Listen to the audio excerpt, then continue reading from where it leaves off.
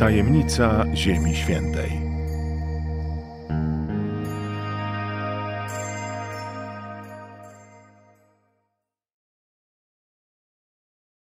Betlejem.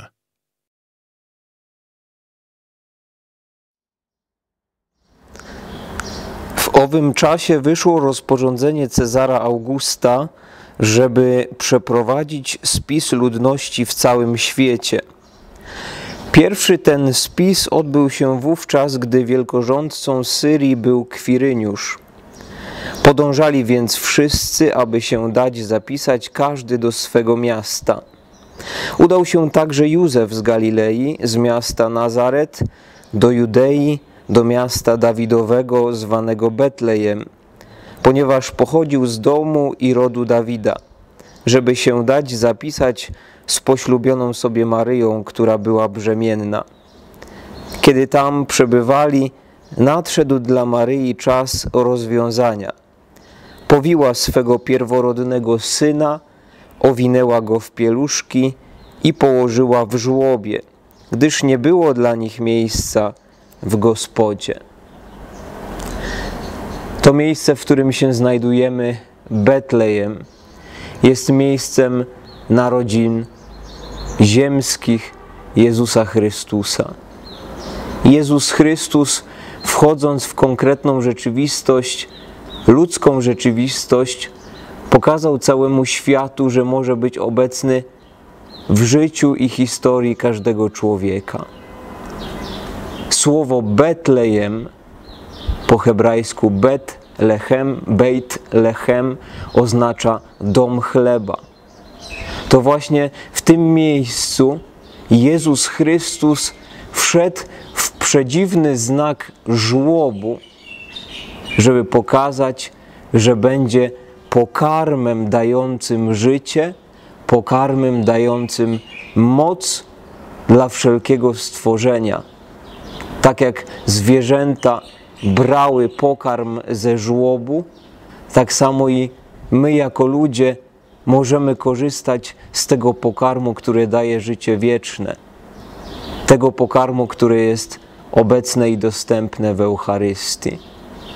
Ten znak żłobu, który bardzo mocno wybrzmiewa w tym miejscu, jest też zapowiedzią wprowadzenia Jezusa Chrystusa do grobu, czyli zapowiedzią Jego męki, śmierci i zmartwychwstania.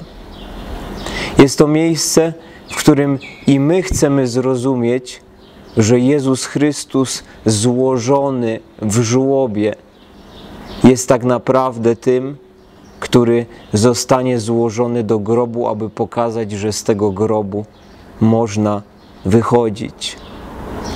Nie zatrzymujmy się na żłobie, nie zatrzymujemy się na grobie, ale wpatrujmy się w Jezusa Chrystusa, który bezpośrednio daje nam znak przechodzenia przez wszystko, przechodzenia w woli Bożej przez każde doświadczenie naszego życia. Jesteśmy też świadkami przedziwnej tajemnicy wcielenia, tajemnicy wejścia Jezusa Chrystusa w swoim ciele w ludzką rzeczywistość. Widzimy pasterzy, którzy przychodzą, aby pokłonić się nowonarodzonemu. Widzimy mędrców ze wschodu, którzy przychodzą, aby ofiarować Jezusowi Chrystusowi swoje dary. Złoto na znak tego, że Jezus Chrystus jest królem, kadzidło na znak tego, że Jezus Chrystus jako Bóg będzie wielbiony przez wszystkie pokolenia, przez wszystkie wieki. I mirrę na znak namaszczenia, namaszczenia ciała Jezusa Chrystusa, namaszczenia Jego samego na pogrzeb, jaki dokona się w pobliskim 8,5 kilometra Jeruzalem. Chcemy prosić Pana Boga w tym miejscu, abyśmy umieli odczytywać tajemnicę wcielenia w swoim funkcjonowaniu, w swoim życiu. Chcemy prosić Pana Boga, abyśmy mieli świadomość, że On rzeczywiście przychodzi do naszego, życia, do naszego życia w znaku chleba eucharystycznego. To On jest tym, który daje się połamać, złamać na krzyżu jako chleb, jako ciało, żeby być dostępnym dla każdego znak, z nas. Niech to miejsce, w którym dane jest nam przebywać, w którym dane jest nam rozpatrywać, czym jest tajemnica Jezusa Chrystusa ukrzyżowanego i zmartwychwstałego, będzie dla nas mocą i dziękczynieniem za to, że możemy bezpośrednio przyjmować moc Ducha Świętego. Shalom.